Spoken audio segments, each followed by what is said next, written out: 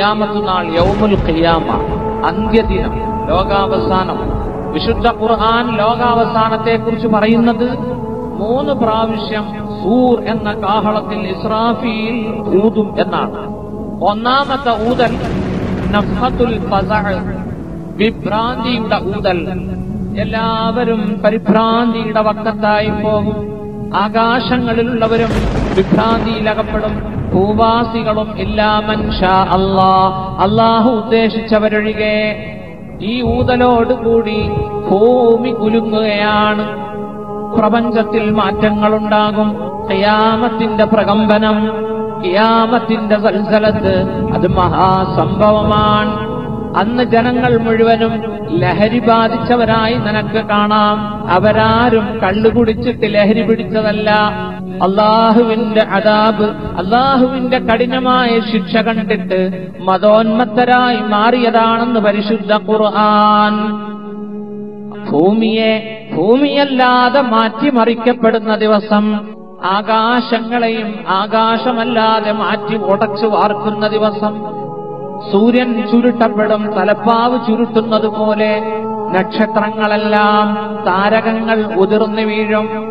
ഇന്ന് ഭൂമിക്ക് കീലകങ്ങളായി ആണികളായി അള്ളാഹു പടച്ചു വെച്ചിരിക്കുന്ന മലകൾ ഈ പർവതങ്ങളെല്ലാം പറന്നു പോകുന്നത് നിനക്ക് കാണാം. സമുദ്രങ്ങൾ കത്തിക്കപ്പെടുന്നതായി കാണാം. ഇതാ സുൽസിലത്തിൽ ഭൂമി ഇങ്ങനെ ഇളകാനും ആടാനും തുടങ്ങും.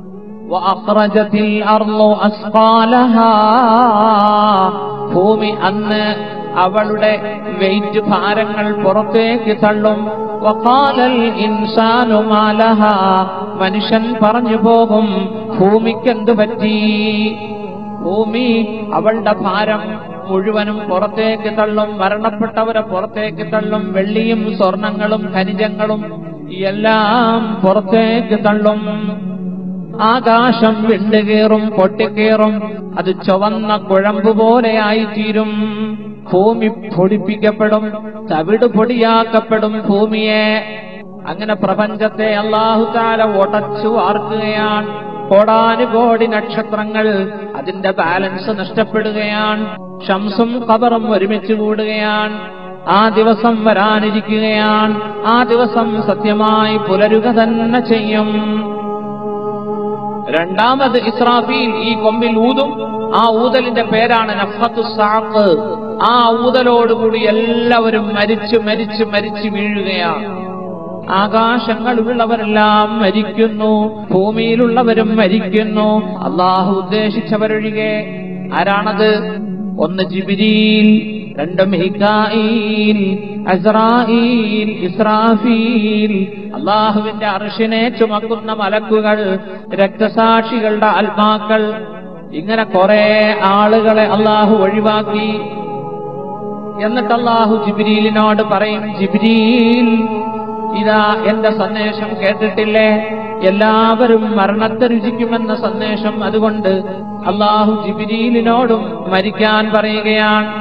പിന്നീട് അള്ളാഹു മീക്കായിലിനോടും മരിക്കാൻ പറയും. അങ്ങനെ അള്ളാഹു ഓരോരുത്തരോടും മരിക്കാൻ പറയും. എന്നിട്ട് അള്ളാഹു അസ്രായിലിന്റെ നേരെ നോക്കും. അസ്രായിൽ ഇനി ആരുണ്ട് മരിക്കാൻ? ഇസ്രായേൽ പറയും അള്ളാഹുവേ ഈ എളിയ ദാസൻ മാത്രമാണുള്ളത്. എന്നെന്നും ജീവിച്ചിരിക്കുന്ന നീയുമുണ്ട്. അള്ളാഹു അസ്രായിലിനോട് പറയും അസ്രായിൽ നീയും മരിക്കണം. അങ്ങനെ മലക്കുൽ മൗത്ത് അസ്രായിൽ സ്വർഗ നരകങ്ങളുടെ ഇടയിലേക്ക് ചെല്ലും. ഒരു ഘോര ശബ്ദത്തോടു കൂടി മരിക്കുകയാണ്.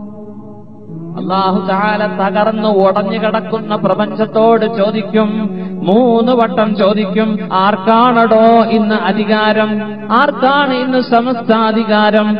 ആർക്കാണ് ഇന്ന് അധികാരം? എവിടെ പോയി സ്വേച്ഛാധിപതികൾ? എവിടെ പോയി അഹങ്കാരികൾ? പറോവമാരെവിടെ കാറൂന്മാരെവിടെ എല്ലാവരോടും അള്ളാഹു ചോദിക്കും ആർക്കും മറുപടി പറയാനില്ല. അള്ളാഹു തന്നെ മറുപടി പറയും ഇന്നത്തെ അധികാരം ഏകനായ സംഹാരകനായ അള്ളാഹുവിന് മാത്രം. എന്നിട്ട് അള്ളാഹു താല ഇസ്രാഫീലിനെ ഹയാത്താക്കുകയാണ്. അതാ ഇസ്രാഫീൽ എഴുന്നേൽക്കുന്നു സൂറന്ന കൊമ്പെടുത്ത് പിടിക്കുന്നു. അള്ളാഹു ഇസ്രാഫീലിനോട് പറയും ഇസ്രാഫീൽ മൂന്നാമതൊരു വട്ടം കൂടി ഊതണം. വീണ്ടും ആ സൂറന്ന കൊമ്പിൽ ഊതുകയാണ്. എല്ലാവരും കബറുകളിൽ നിന്ന് എഴുന്നേൽക്കുകയാണ്. എല്ലാവരും അതാ മഷറയിലേക്ക് നടക്കുകയാണ്. മഷറ വെളുത്ത ഭൂമിയാണെന്ന് സയ്യിദുന റസൂലുല്ലാഹി ഏതുപോലെ?